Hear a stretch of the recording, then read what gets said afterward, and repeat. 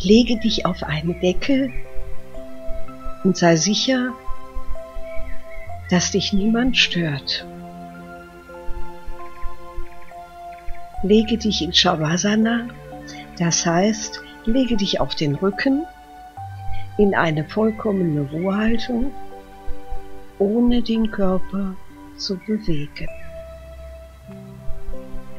Fußspitzen fallen leicht auseinander, Arme und Hände liegen kraftlos neben dem Körper auf der Unterlage. Und nun schließe deine Augen. Konzentriere dich ganz auf dich selbst. Spüre deinen Körper. Nimm dich selbst wahr, ganz bewusst. Spüre in deinen Geist und in deine Seele hinein.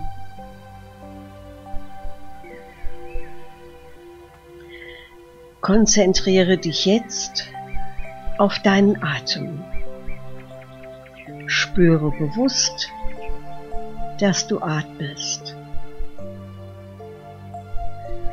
Wenn du einatmest, hebt sich die Bauchdecke.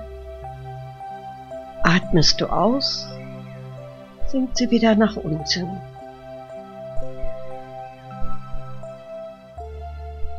Schau deinem Atem einfach zu, ohne ihn zu verändern. Beobachte nur.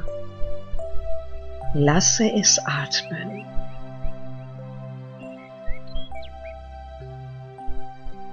Mach dir jetzt bewusst, dass du von einer wunderbaren, überaus